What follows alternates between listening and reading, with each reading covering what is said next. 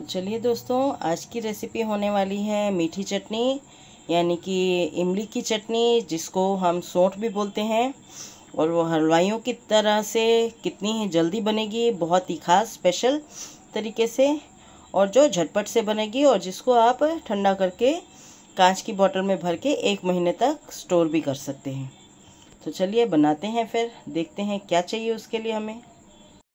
तो नमस्कार दोस्तों, स्वागत है आपका गीता की रसोई में। तो आज हम बनाने वाले हैं इमली की खट्टी मीठी चटनी, जिसको आप सोट भी बोलते हैं। तो बहुत ही आसान है उसको बनाना। जिन लोग को आती है, उन लोग उन लोग के लिए भी बहुत अच्छी है, और जो लोग नहीं जानते हैं बनाना तो उन लोग के लिए स्पेशल है, जो घर पे ही बहुत आसान तरीके से बन सकती है, और बहुत जल्दी। ये इमली है जो बिना गुटली की है, जिसको मैंने एक घंटा पहले अच्छे से भिगो के रख दिया था। आप देख रहे हैं। ये बिना गुटली वाली है।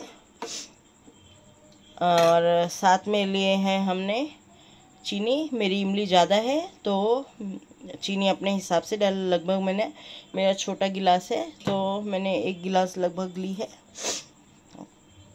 मतलब अगर कटोरी के हिसाब से मापेंगे तो लगभग डेढ़ कटोरी जितनी है।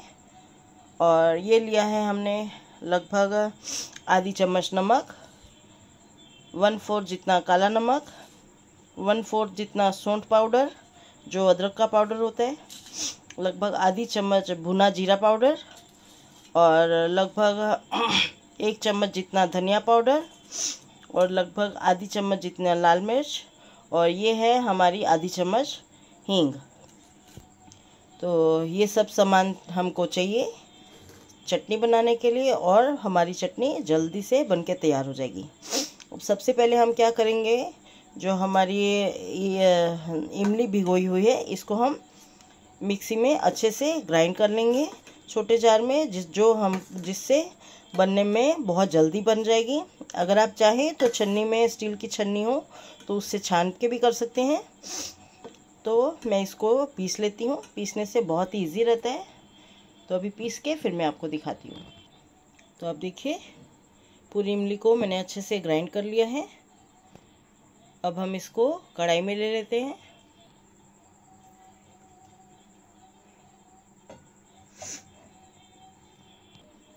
इसी जार में लेंगे थोड़ा पानी।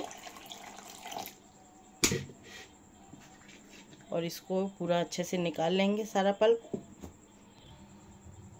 देखिए, सारा पल्प हमने निकाल लिया है। सारा पाउडर इसमें से भी हमने निकाल लिया है पूरा। अब हम करेंगे गैस को ऑन। और इसको उबलने देते हैं। तो देखिए इमली हमारी पक रही है। जैसे ही उबाला आएगा तो हम गैस को कर देती हूँ पहले मैं स्लो, और ये सारे मसाले हम इसमें डाल देंगे।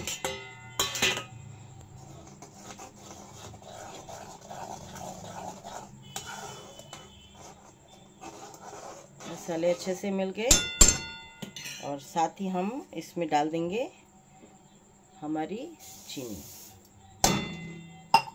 अब हम इसको अच्छे से पकाएँगे, जब तक हमारी चीनी अच्छे से घुल नहीं जाए और उसके बाद हम दिलवाएँगे एक दो उबाले। ये घर की चटनी पीसी बहुत ही जल्दी और बहुत ही बढ़िया बन के तैयार होती है। आप महीने तक इसको यूज़ कर सकते हैं, जैसे ही ये ठंडी हो जाए, आप इसको जार में भर के फ्रिज में रख सकते हैं। ये बिल्कुल भी ख़राब नहीं होती हैं और आप इसको किसी भी चीज़ के साथ इंजॉय कर सकते हैं। पकोड़ों के साथ, भजिया के साथ, पूड़ी के साथ, समोसे के साथ, जिसके साथ भी आप इंजॉय करना चाहें। दही भल्लों में, भेल में, चाट पकौड़ी में आप सब चीज़ के साथ ये चटनी बहुत ही बढ़िया लगती है और इससे सब चीज़ का टेस्ट बहुत ही अच्छा आ जाता है। आप देख रहे हैं, जैसे ही हमने मसाले और चीनी डाली, इसका कलर एकदम से चेंज हो गया है और ये बहुत ही बढ़िया लगती है। और बनने के बाद, ठंडा होने के बाद, आप इसमें चाहें तो जो खरबूजे के बीज आते हैं, जिसको लोग मगज भी बोलते हैं, वो भी डाल सकते हैं, जैसे शादियों में डालते हैं हलवाई लोग। और अगर आप सर्व करने के समय इसमें फ्रूट भी डाल सकते हैं जैसे कि शादियों में केला डाल के ए, मिलाते हैं तो आप वैसा भी डाल सकते हैं पर केला आपको जब भी डालना है सर्व करने के समय डालना है। केला डाल के रखना नहीं है नहीं तो चटनी हमारी जल्दी ख़राब हो जाती है। तो इस चीज़ का आप खास ध्यान रखें। केला फ्रूट कभी भी डाल के चटनी में रखें नहीं जिस समय आपको सर्व करना है उसी समय डाल के इसमें मिलाएँ। देखिए, उबाला आ गया है।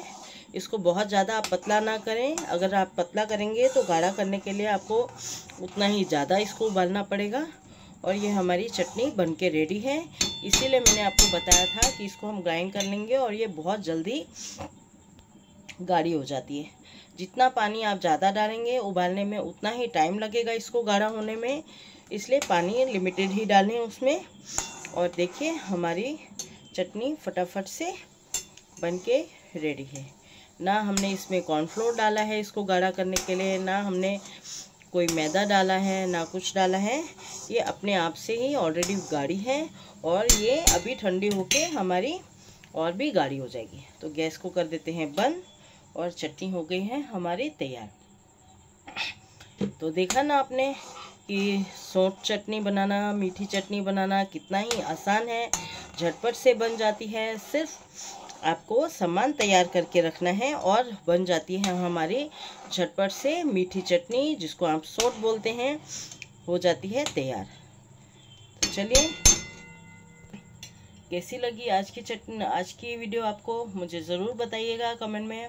और ऐसी अच्छी अच्छी और आसान से बनने वाली वीडियोस देखने के लिए मेरे चैनल को सब्सक्राइब करें और बेल आइकॉन दबाना ना भूलें, जिससे सभी वीडियोस की नोटिफिकेशन आपको जल्दी से जल्दी मिलेगी और आप सभी वीडियोस देख पाएँगे। तो चलिए मिलेंगे फिर अगली रेसिपी के साथ। तब तक के लिए करते हैं। Bye bye.